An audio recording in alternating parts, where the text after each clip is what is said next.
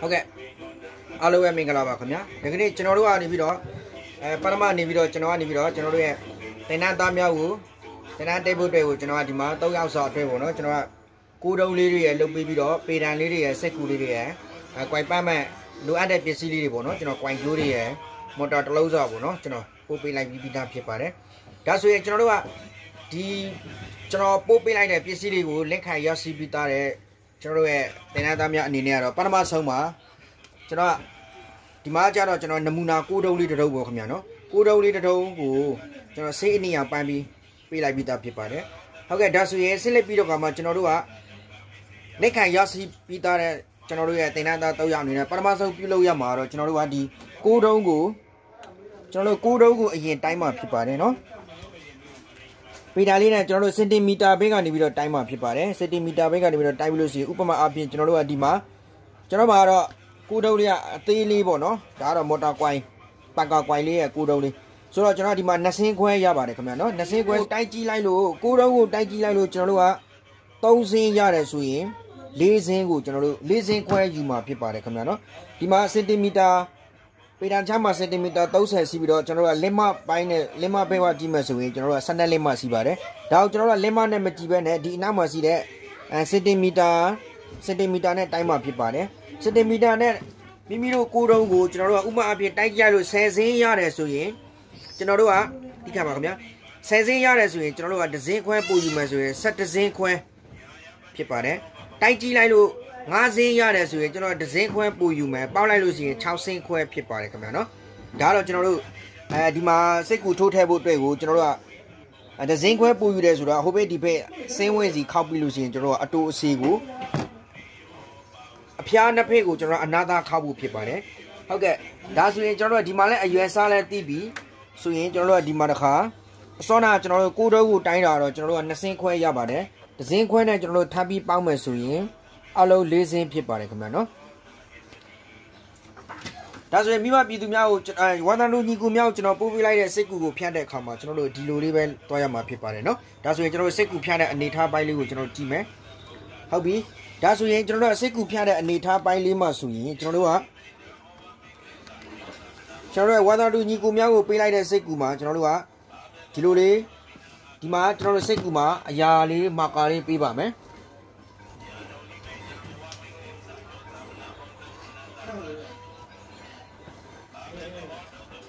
ကျွန်တော်တို့ဓားလေးနဲ့ပေါ့နော်မိမိတို့အနေနဲ့အဲမင်းနန်လေးနဲ့ကြားရင်လည်းရပါတယ်ခင်ဗျာနော်ကျွန်တော်တို့ဒီမှာအဖျားပင်မှာကျွန်တော်တရှင်းလုံးမယ်တရှင်းလုံးပြီးလို့ရှိရင်ဒီဒီမှာကျွန်တော်စိတ်ကူနည်းနည်းလေးနဲ့နော်မိဘကျွန်တော်ရဲ့ဝါသနာလူညီကိုမြောက်ကိုကျွန်တော်ပေးလိုက်တဲ့စိတ်ကူလေးကတော့အစီကြီးပေါ့ခင်ဗျာနော်ဟုတ်ကဲ့ဒါဆိုရင်ကျွန်တော်တို့ကဒီဘက်ဟိုဘက်အဖျားနဲ့ဒီဘက်အဖျားကိုတိုင်းပြီးသွားပြီဆိုရင်ကျွန်တော်တို့ကအစီကြီး တစ်ဆောက်လုံးကိုကျွန်တော်တို့ဆွဲလိုက်ပါမယ်ဆွဲလို့ကျွန်တော်တို့ကဒီမှာအကြောင်းလေးရလာပြီဆိုရင်ကျွန်တော်တို့ကလိုတလောက်ကိုဖြတ်ပါမယ်ခင်ဗျာ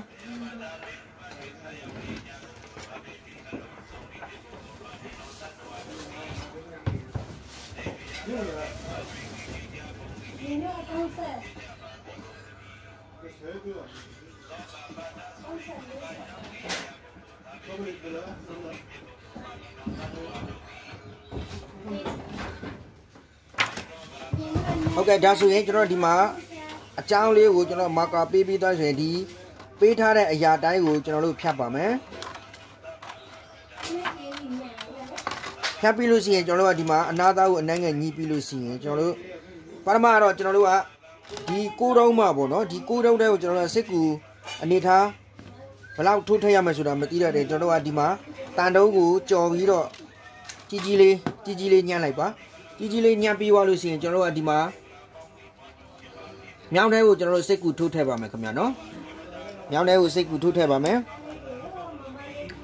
မြောင်းတဲကိုစိတ်ကူထိုးထည့်ပြီးလို့ရှိရင်ကျွန်တော်ဒီမှာအနှဲငယ်ကြည့်ပါမယ်ခင်ဗျာနော်ကျွန်တော်ဒီမှာတချမ်းမှာကို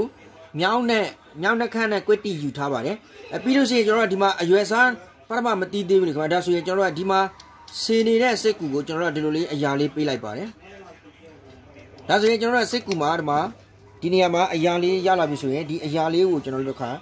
ညှပ်ပြလိုက်ပါမယ်ဒါဆိုရင်ကျွန်တော်တို့ဒီမှာစိတ်ကူမြောင်းထဲကိုထည့်ဖို့အတွက်ကိုအလောတော်လေးရရှိမှာဖြစ်ပါတယ်ဟုတ်ကဲ့ခင်ဗျာနော်ဒီမှာဆိုရင်ကျွန်တော်တို့မြောင်းထဲကိုကွက်တိဝင်သွားပါပြီဥပမာအားဖြင့်ကျွန်တော်တို့ကစိတ်ကူကဒီမှာမြောင်းနဲ့အရန်ကိုကြီးနေတယ်ပေါ့နော်ကျွန်တော်တို့ကဒါဆိုရင်နမူနာအနေနဲ့ဒီခံပါနမူနာအနေနဲ့ကျွန်တော်တို့ကတချမ်းကိုဒီမှာ နှခမ်းသားနှစ်ဖက်စီးတဲ့နေရာကိုကျွန်တော်တို့ကတစ်ဖက်ကိုပုံသေးဝင်အောင်ကျွန်တော်တို့အရင်ဆုံးထည့်လိုက်ပါမယ်ဒါတော့ကျွန်တော်ရဲ့အတွေ့အကြုံလေးပဲဖြစ်ပါတယ်ခင်ဗျာနော်သင်တန်းသားများအနေနဲ့ကတော့ဒါလေးတွေကိုလိုက်ပြီးတော့အဲပထမဆုံးမှာအခြေခံအနေနဲ့ကျွန်တော်စိတ်ကူထိုးတဲ့အနေထားကိုသွားမှာဖြစ်ပါတယ်ဒါဆိုရင်ကျွန်တော်ဒီမှာဒီမှာတစ်ဖက်မှာတစ်ဖက်မှာကျွန်တော်တို့ကအဲကွက်တီပေါ့နော်ကျွန်တော်တို့အနေထားအတော်လေးယူထားပြီးတော့ဒီတစ်ဖက်မှာမြင့်တင်နေတယ် ဒါလို့ကျွန်တော်တို့ကဒီလိုလေးကန်ပြီးလို့ရှိရင်ဆွဲကစားလိုက်မယ်ဒါဆိုရင်ဒီမှာအရာလေးပေါ်မယ်အရာလေးကိုကျွန်တော်တို့ပြန်ဖြတ်မယ်အဲပြီးသွားလို့ရှိရင်ကျွန်တော်တို့ကဒီမှာထိုးထည့်ကြည့်မယ်လိုအပ်တာအဲနည်းနည်းအနည်းလေးငယ်သွားလို့ရှိရင်ကျွန်တော်တို့ကဖြတ်တဲ့ခါမှာဒီမှာအဖြစ်ကျွန်တော်တို့ကနည်းနည်းလေးလိုသွားပါပြီဟုတ်ကဲ့ဒါဆိုရင်ဒီမှာကွက်တိကျနေတဲ့စိတ်ကူကိုကျွန်တော်တို့စမ်းမယ်ဒါဆိုရင်ကျွန်တော်တို့ကဟိုဘက်နှခမ်းဒီဘက်နှခမ်းရသွားပြီဆိုရင်ကျွန်တော်တို့ရဲ့ ဒီနမူနာစိတ်ကူတရွေ့ကိုကျွန်တော်တို့ကဒီမှာတိုင်းပါမယ်တိုင်းလို့ရှိရင်ကျွန်တော်တို့ကပေထံမှာပေထံမှာစင်တီမီတာနဲ့ကျွန်တော်တို့3စင်းရတာကိုတွေးရပါတယ်3စင်းရတာကိုတွေးရပြီဆိုရင်ကျွန်တော်တို့ကစိတ်ကူကိုအစီကြီးတစ်ခါတည်းဖြတ်ထားပြီးပြီဆိုရင်ဒီမှာတစ်ခါဒီမှာတစ်ခါကျွန်တော်တို့ကစိတ်ကူကို3စင်းအဲပြီးရင်6စင်းပြီးရင်9ဒီမှာပေါ့နော်တဲ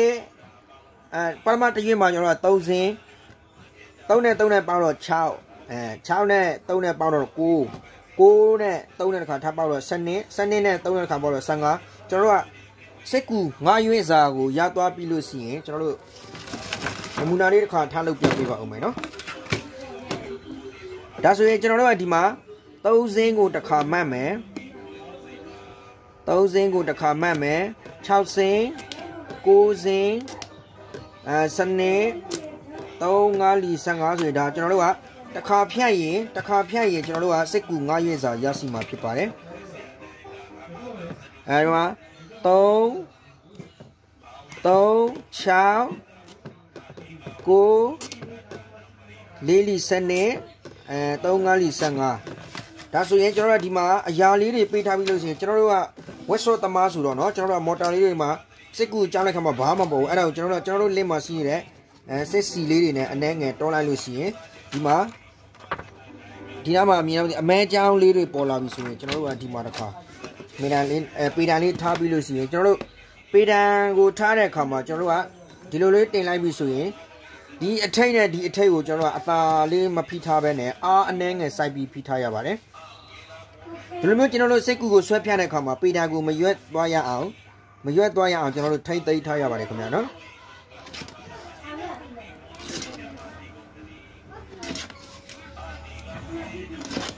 ဟုတ်ပြီဒါဆိုရင်ကျွန်တော်တို့ကဒီမှာတစ်ခါဖြန့်ရင်1 2 3 4 5ခုရမှာဖြစ်ပါတယ်ဒါကတော့ကျွန်တော်တို့သင်္ဍန်သားများအနေနဲ့ပရမဆုံးကျွန်တော်တို့ကစိတ်ကူးမှုဖြန့်တဲ့အနေအထားလေးတွေကိုကျွန်တော်တို့ရှင်းပြပေးရတာဖြစ်ပါတယ်ခင်ဗျာနော်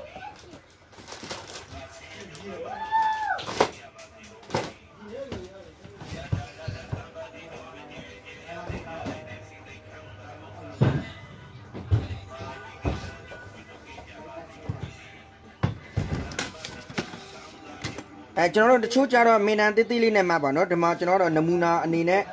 အဲကျွန်တော်မေနန်အကြီးကြီးနဲ့တခါမှတ်ပြနေချင်းပဲဖြစ်ပါတယ်ခင်ဗျာနော်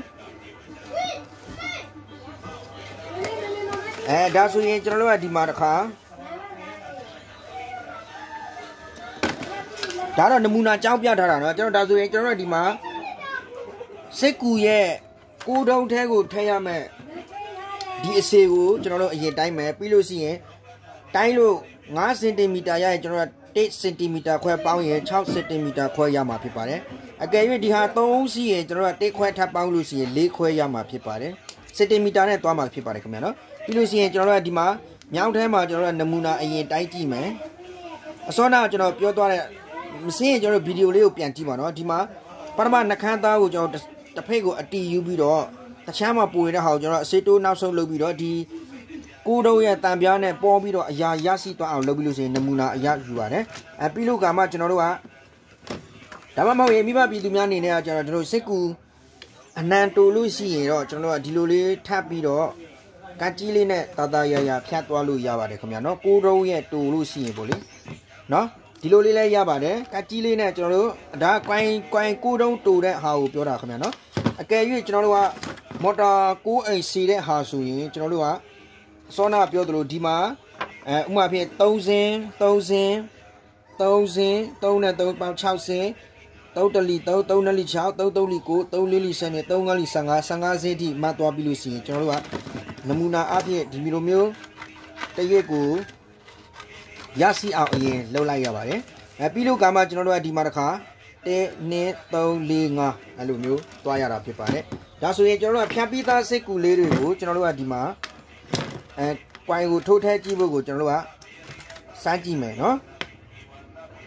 ဒီလိုလေးပဲသွားရမှာဖြစ်ပါတယ်ခင်ဗျာနော်ကျွန်တော်တို့ကပရမဆုံးအနေထားမှာကျွန်တော်တို့သင်္นานသားများအနေနဲ့ဒီနေရာလေးတွေကိုကြက်ကြက်မတ်မတ်အရင်ဆုံး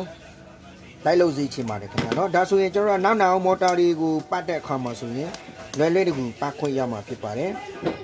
အစကောင်းမှကျွန်တော်တို့အနောက်သေးချာမှာဖြစ်ပါတယ်ခင်ဗျာနော်အစပိုင်းမှာကျွန်တော်တို့က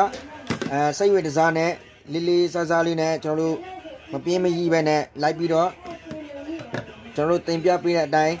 ပထမဆုံးမှာလိုက်နာပါပြီးမှကျွန်တော်တို့ကအဲမော်တာအကြောင်း၊ကွိုင်အကြောင်းနားလည်ပြီဆိုရင်မိမိတို့ရဲ့ဖြတ်ထိုးညာကိုတုံးပြီးတော့လိုအပ်သလိုညံမဲ့ဟာလေးကိုရွေးသုံးပါပထမပိုင်းမှာတော့ကျွန်တော်တို့ဒီအခြေခံပိုင်းလေးတွေကိုပြောပြနေတဲ့အချိန်မှာကျွန်တော်တို့ဒီကကျွန်တော်ပြောပြနေတဲ့အတိုင်းလေးကိုအရင်ဆုံးလိုက်ပြီးတော့လုပ်ကြည့်စေချင်ပါတယ်ခင်ဗျာနော်ဟုတ်ကဲ့ ဒါဆိုရင်ကျွန်တော်တို့ကဒီမှာ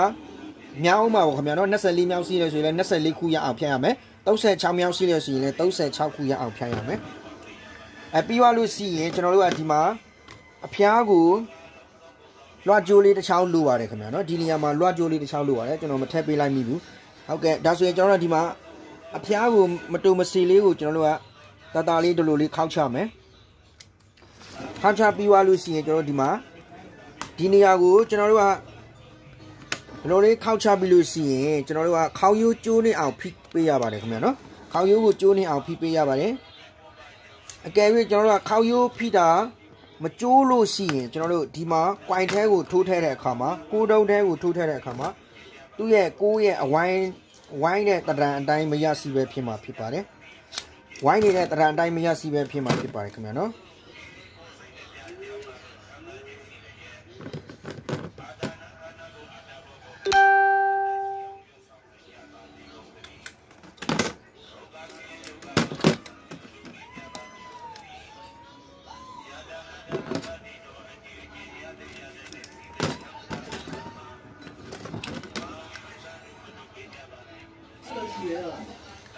တော်လေးအနာသားလေးအဖျားလေးကိုနည်းနည်းလေးခောက်ပြီးလို့ရှိရင်ကျွန်တော်တို့ကစပွဲပေါ်တင်ပြီးတော့ဒီမှာလွှတ်ကြိုးပြားလေးနဲ့ကျွန်တော်တို့ဖိချရမှာဖြစ်ပါတယ်နောက်မဟုတ်ရင်လည်းကျွန်တော်တို့ကကျွန်တော်တို့မိမိတို့ကိုပေးလိုက်တဲ့ပေတံလေးနဲ့ဒီလိုအသားလေးတင်ပြီးလို့ရှိရင်ဒီလိုလေးခောက်ချပါမယ်ဒီအနောက်ဟာကိုကျွန်တော်တို့ကတေချာလေးဖိထားရပါတယ်ခင်ဗျာနော်ဒီမှာတေချာလေးဖိထားရပါတယ်မဟုတ်လို့ရှိရင်ကျွန်တော်တို့ကစစ်ကူအဖျားလေးကိုခောက်လိုက်ခါမှာဒီလိုဒီလိုလေးချောထွင်းတတ်တတ်ပါတယ်နော်မချောထွင်းအောင်ကျွန်တော်တို့က အဲအားလေးနဲ့အနှမ်းငယ်စိုက်ထားမယ်ပြီးလို့ရှိရင်ကျွန်တော်တို့ကဒီမှာခေါင်းရိုးကျိုးနေအောင်ချိုးချမယ်ကျွန်တော်တို့ဒီခောက်စာကိုအစီကြီးခောက်လို့လည်းမရပါဘူးခင်ဗျာနော်ကျွန်တော်တို့ကဒီမှာကွိုင်းကိုအာကိုတုံးတဲကိုထဲဖို့အတွက်ကိုကျွန်တော်တို့ကအလောတော်လေးလှုပ်ထားတဲ့အတွက်နှစ်ဖက်ကိုကျွန်တော်တို့ကမြတ်တနေအောင်ခေါက်ရိုးကိုချိုးရမှာဖြစ်ပါတယ်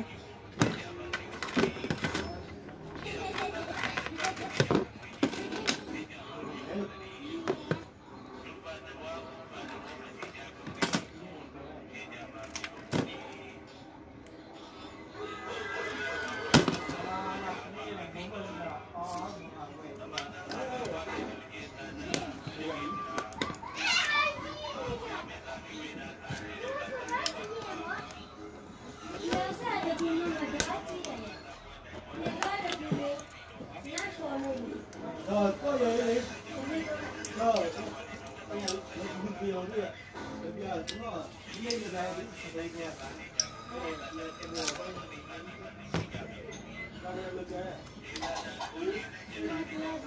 Thank you.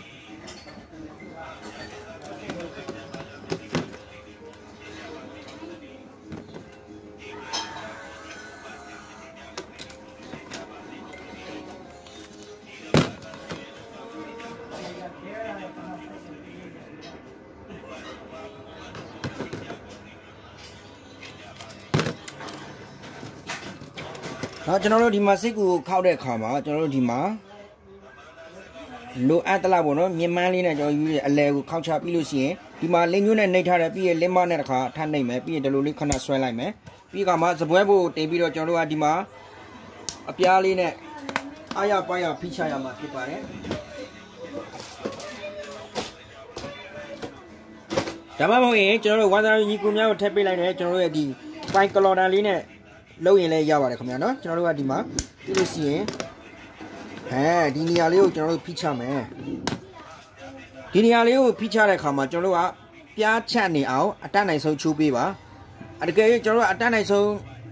အခေါရိုးမကျိုးဘူးလို့ရှိရင်ကျွန်တော်တို့ဒီမှာချိုးလိုက်လို့ရှိရင်သူကဟောလို့မဝိုင်းမဲနဲ့အဲပြီးလို့ရှိရင်ကျွန်တော်တို့ကစစ်ကူထိုးတဲ့အခါမှာဒီဘက်တစ်ချမ်းကိုဒီဘက်တစ်ချမ်းကိုအရင်ထည့်မယ်ပြီးမှဒီလိုလေးလှုပ်ထည့်မယ်ဒီကနေပြီးတအားညင်းလိုက်လို့ရှိရင်ဝင်သွားလို့ရှိရင်ကျွန်တော်တို့ဒီမှာ ကျိုးသွားလို့ရှိရင်ဒီလိုလိုမဝိုက်တော့ပါဘူးခင်ဗျာနော်ဒါဆိုရင်ကျွန်တော်တို့ကမြောင်းထဲကိုထည့်တဲ့အခါမှာအစောနာကျွန်တော်ပြောသလိုတချမ်းကိုအရင်ထည့်မယ်နော်ဒီမှာတချမ်းကိုအရင်တေးလိုက်မယ်ပြီးရင်ဒီကတစ်ဖက်ကိုကျွန်တော်အတာလေးတောထည့်လိုက်မယ်ဟုတ်ပြီနော်ဒီလိုလေးပဲဖြစ်နေရမှာဖြစ်ပါတယ်ဒီမှာじゃအစောနာကျွန်တော်ခောက်ပြလိုက်တဲ့အတွက်သူကခောက်ယူပစ္စည်းသွားတာဖြစ်ပါတယ်ခင်ဗျာနော်ပြီးလို့ရှိရင်ကျွန်တော်တို့ဒီမှာဒီဘက်ကအဲဒီမှာဒီလိုလေးဝိုင်းနေအောင် ဒီလိုလေးဝိုင်းနေအောင်နေရလောက်ရပါမယ်ခင်ဗျာနော်ဒီဘက်မှာလည်းပဲဒီလိုလေးဝိုင်းနေအောင်လောက်ရမှာဖြစ်ပါတယ်ဒါခေါက်ရိုးမကျိုးလို့ရှိရင်ကျွန်တော်တို့ဒီလိုလေးဖြစ်သွားလို့ရှိရင်ဒီမှာစစ်ကူကဒီမှာနဘေးမှာဟာနေမယ်ဟိုဘက်နဘေးမှာဟာနေမယ်ဒါလေးကိုသတိထားပါဟုတ်ကဲ့ဒါဆိုရင်ကျွန်တော်တို့ကပထမဆုံးအနေနဲ့ကျွန်တော်တို့ရဲ့သင်္นานသားများကိုပို့ချပေးလို့တဲ့အကြောင်းအရာလေးကတော့ဒီကျွန်တော်တို့စစ်ကူထိုးတဲ့အကြောင်းအရာလေးပဲဖြစ်ပါတယ်ခင်ဗျာနော်ပထမဆုံးမှာတော့ကျွန်တော်တို့ကဝန္ဒနာတူညီကိုများအနေနဲ့တော့ဒီ အပိုင်းလေးတွေကိုစိမ့်နေမှာဖြစ်ပါတယ်ဟုတ်ကဲ့ဒါဆိုရင်ကျွန်တော်အစောနာတင်ပြတော့တဲ့အတိုင်းပဲဖြည်းဖြည်းချင်းလိုက်လို့ကြည့်ပါပြီးလို့ရှိရင်မစင်းတဲ့ဟာလေးကိုကျွန်တော်စီကို Messenger လေးကိုပို့လာပြီးတော့အဲဖုန်းစစ်သည်ဖြစ်စေ Messenger ပဲဖြစ်စေကျွန်တော်စာလေးနဲ့ပို့ပြီးတော့ဖုန်းစစ်ပြီးတော့လမ်းမေးနိုင်ပါတယ်အားလုံးကျေးဇူးတင်ပါတယ်ခင်ဗျာနော်ကျွန်တော်တို့ရဲ့ဝန်ထမ်းလူညီကိုများပထမဆုံးအစားလုပ်တဲ့ခါမှာကျတော့လုံးလုံးရမယ့်အရာတိုင်းမှာကျတော့ကျွန်တော်တို့က စိမ့်နေတဲ့အတွင်းအခက်ခဲအနှဲငယ်တော့ရှိပါမယ်ဒါလေးတွေကိုကျွန်တော်တို့ကြော်ဖြတ်ရမှာဖြစ်ပါတယ်ဟုတ်ကဲ့အားလုံးအထူးပဲကျေးဇူးတင်ပါတယ်ခင်ဗျာနော်စိတ်စေတီးခံပြီးတော့ကျွန်တော်တို့စူးစမ်းကြပါလို့တိုက်တွန်းလို့ဆိုရင်လည်းကျွန်တော်ရဲ့ဗီဒီယိုဖိုင်လေးကိုဒီမှာရန်နာတော့ပြပါခင်ဗျာနော်အားလုံးကျေးဇူးတင်ပါတယ်